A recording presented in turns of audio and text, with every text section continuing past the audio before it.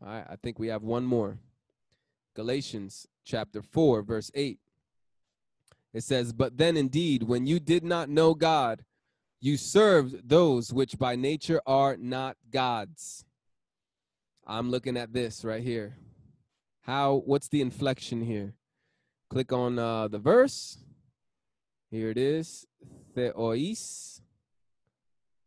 Click on that again. How many times? It's only used once, guys.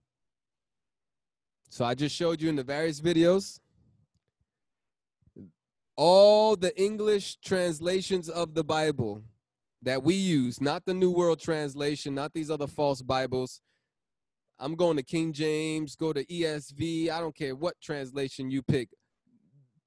You know, accredited scriptures are using the the the, the English word small g-o-d righteously while capitalizing god for John 1 1 in reference to the Father and the Son. The Word was with the Father, and the Word was the Father. Or the Word was with God, the Supreme Divine Being, and the Word was the Supreme Divine Being. So he's with himself and he is himself all at the same time. First John chapter 3 16.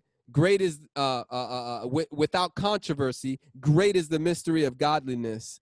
God was made manifest in the flesh the supreme divine person was made manifest in the flesh. So I believe there is consistent consistency here. Never are these words used for small gods, false gods, um, engraven images, demonic spirits. Are these words ever used to refer to the Father or the Son in the New Testament? And that is not accidental. That is evidence showing that the Father, the Son, are the same God. I hope you're enjoying this. There's really nothing else to study.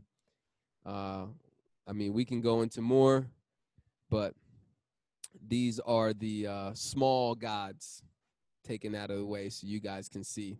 Has no bearing, no relationship um, with the Father and the Son. Shalom.